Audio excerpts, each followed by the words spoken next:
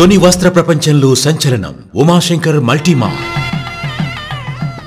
పెళ్ళి పవిత్రం పట్టు ప్రశస్తం మీకోసం ప్రత్యేకం. మీ ఇంట జరిగే వివాహ వేడుకలకు నమ్మకమైన నాణ్యమైన స్వచ్ఛమైన వస్త్రాలు అందిస్తున్నాం. పెళ్ళి పట్టు చీరల ప్రత్యేక నిలయం ఉమాశంకర్ మల్టీమా. జీవీఆర్ ప్లాజా పెద్ద వీధి తుని. నమస్తే welcome to my media news.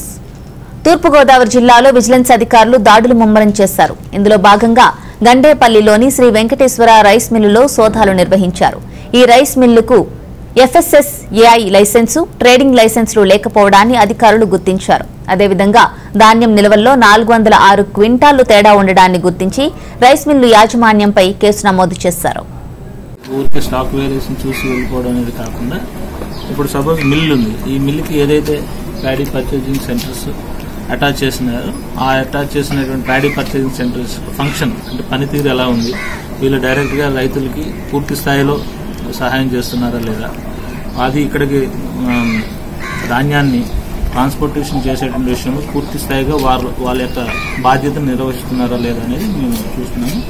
ఈ యొక్క అన్నింటి ఈ మొత్తం ఎంటైర్ ఇన్స్పెక్షన్ యొక్క ఉద్దేశం ఏంటంటే రైతు అనేటువంటి వాడు ఎటు ఏ రకమైనటువంటి ఇబ్బంది పడకుండా ప్రభుత్వం వారు ఉద్దేశించబడినటువంటి అన్ని రకాలైనటువంటి సదుపాయాలు అంటే ట్రాన్స్పోర్టేషన్ అయితేనే కానీ అలాగే కళ్ళం దగ్గరికే వెళ్ళి ఈ యొక్క ప్యాడింగ్ కలెక్ట్ కలెక్ట్ చేసుకునేటువంటి విషయంలో అయితేనే కానీ డబ్బులు రైతు అకౌంట్లో మళ్ళీ పడేటువంటి విషయంలో కానీ రైతు ఏ రకమైనటువంటి ఇబ్బంది లేకుండా